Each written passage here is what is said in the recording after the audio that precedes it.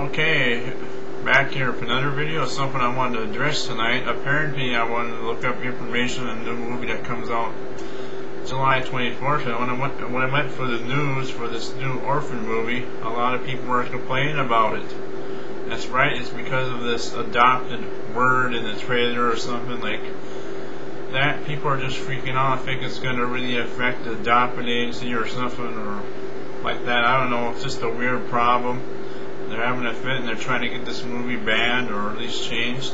Well, the good news for them is that Warner Brothers has changed the trailer a little bit and took the word adopted out of there, I believe. So hopefully I'll make them feel better, but I don't want to see this movie banned. It looks very interesting to me. I will be going to see it. I already did a trailer reaction to it here. Well, I don't know how many months ago, a couple months, three, four.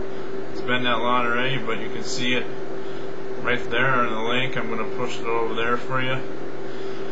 So yeah, so hopefully is better. I can't wait to see this movie. It looks great.